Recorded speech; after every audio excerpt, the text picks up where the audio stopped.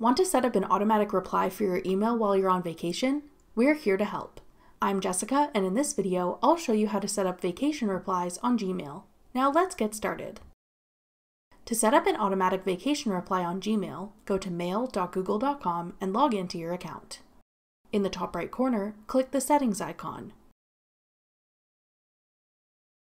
Then select See All Settings. In the General tab, scroll down to the bottom to the Vacation Responder section. Then click Vacation Responder On.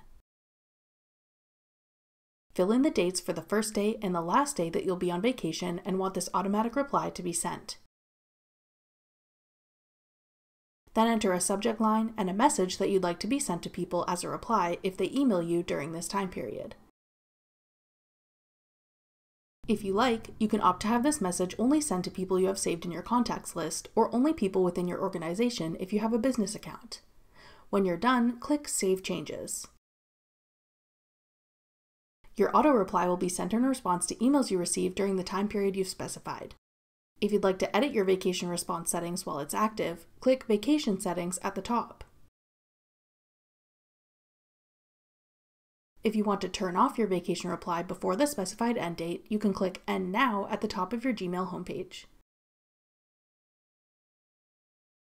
That's all it takes to set up an automatic vacation reply on Gmail.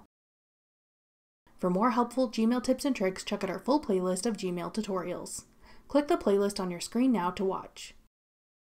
Thanks for watching. If you found this video helpful, we'd love it if you'd hit the thumbs up button below and subscribe to our channel.